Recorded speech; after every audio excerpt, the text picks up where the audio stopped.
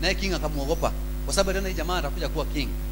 Let me tell you when you fear god and you mind your own business people will be afraid of you.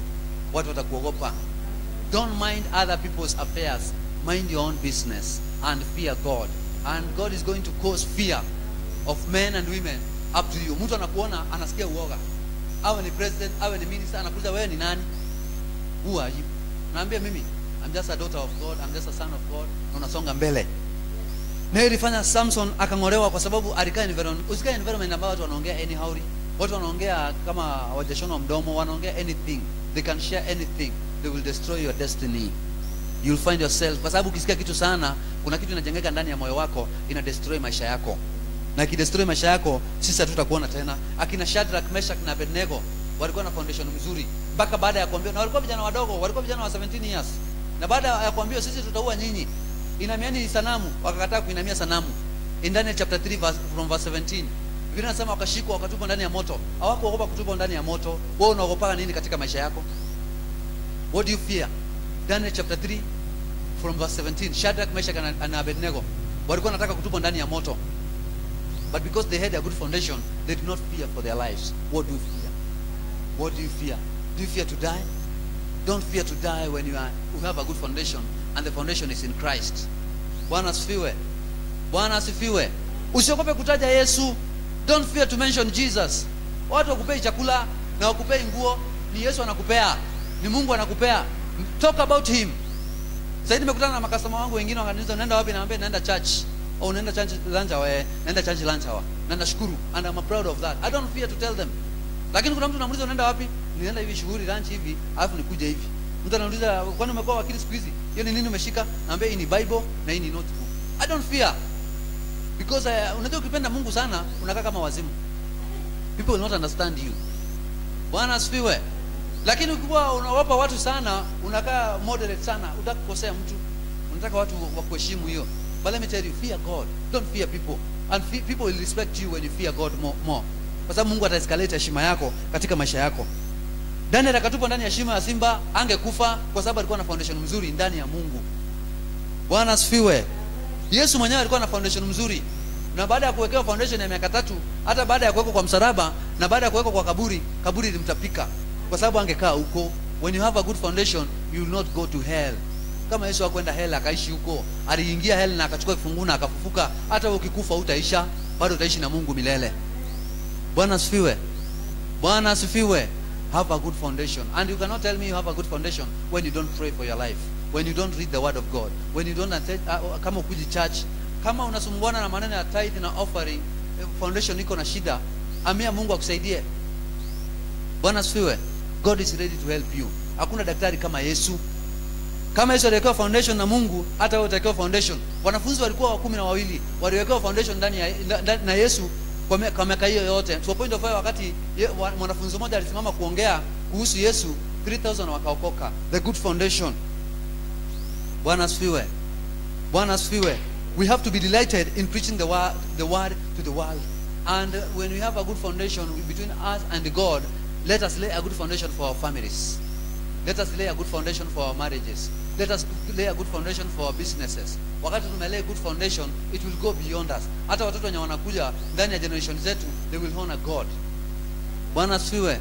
Mungu angalii wingi wa watu anaangalia wale wamekuwa laid foundation. Anaweka ndani yao utajiri wake. Praise the lord.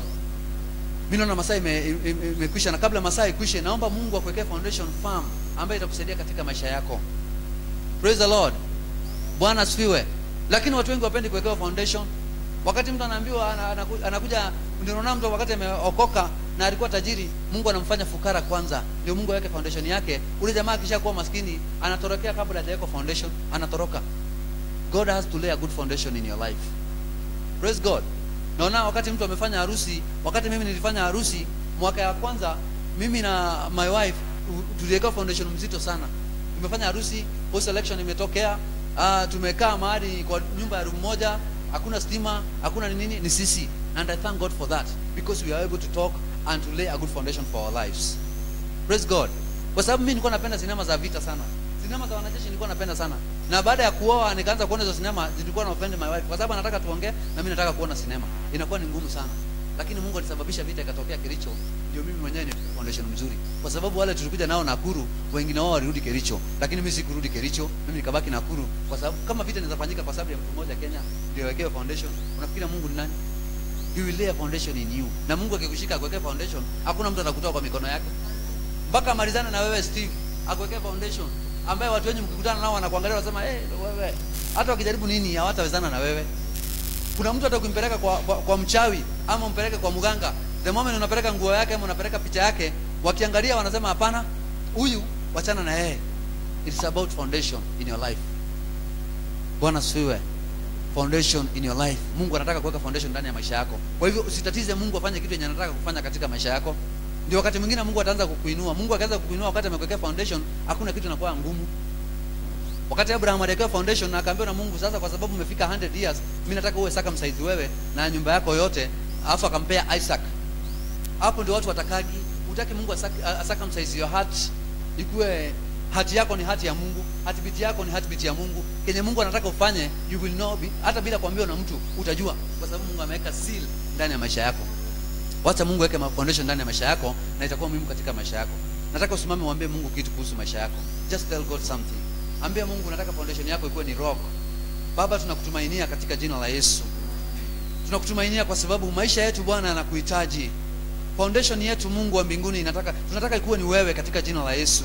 Jinsi tunavyofanya mambo tunakutumainia wewe. Kama wewe uliumba mbingu na nchi na utajiri wa dunia mungu wa mbinguni unamilikiwa katika mikono ya wenye dhambi bwana naomba bwana wa majeshi ukaweka foundation ndani ya maisha yetu ukaaminia utajiri katika mikono yetu katika jina la yesu baba tutabadilisha uso wa ufalme wako unapolea good foundation katika mioyo yetu na katika maisha yetu na katika ndoa zetu na familia zetu katika jina la yesu.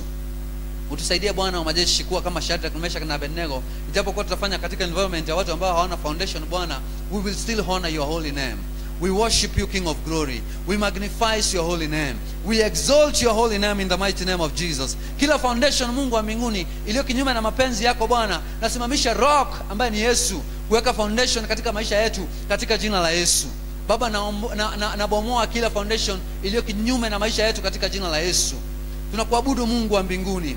Tunakutumainia bwana wa majeshi wakati mwingine tunahisi kuchanganyikiwa wakati mwingine tunahisi hatujielewi but we have a good foundation which is christ jesus. We worship you and we praise your holy name. Father we destroy every other foundation king of glory in our lives. In the mighty name of jesus. And we raise rock mungu wa mbinguni hata mvua itakaponyesha pepo zitakapokuja bwana. Mungu wa mbinguni gharika itakapokuja bwana wa majeshi. Bwana miundo yetu bwana wa majeshi msingi.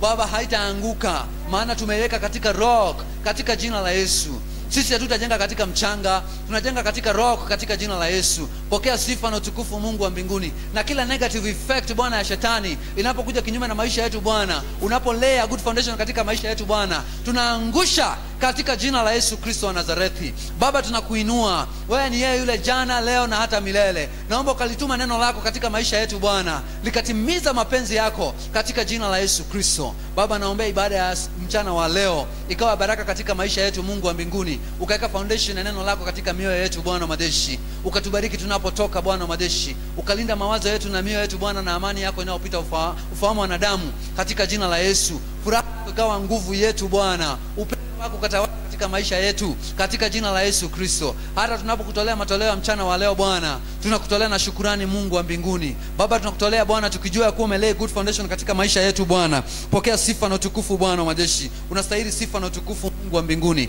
Kama si wewe bwana sisi hatungekuwa hapa bwana wa majeshi. Tunakuinua mfalme wa amani. Hakuna wa kulinganishwa na wewe bwana wa majeshi baba tunakuinua mchana wa leo tukiombea man of honor bwana wa majeshi mwenye alta hii ambayo umempa mungu wa mbinguni kusimamia bwana wa majeshi ukambariki ariko bwana wa majeshi na familia yake bwana. Neema yako ikawatosha katika jina la bwana yesu. Ukampaka mafuta yako mungu wa mbinguni. Anaponena neno lako bwana ukampa breakthrough bwana. Ishara na ajabu zikafuatana naye mungu wa mbinguni. Katika jina la yesu kristo damu ya yesu bwana wa majeshi ikanena juu ya maisha yake. Damu ya yesu ikanena juu ya jamii yake bwana. Katika jina la yesu kristo nabarikisha kila mmoja aliye mahali hapa mungu wa mbinguni. Bariki familia hizi bwana wa majeshi bariki maisha haya mungu wa mbinguni. Ukayainua mungu wa mbinguni damu ya yesu ikanena juu ya maisha yao bwana kwa jina la yesu kristo. Neema yako ikawatosha mungu wa mbinguni. Ukatubariki bwana wa majeshi tunaporudi katika makazi bwana. Neema yako ikawa pamoja na sisi bwana. Ikiwa ni kwa jina la baba la mwana na roho mtakatifu tunaomba na kushukuru. Amen. Karibuni tumtolee mungu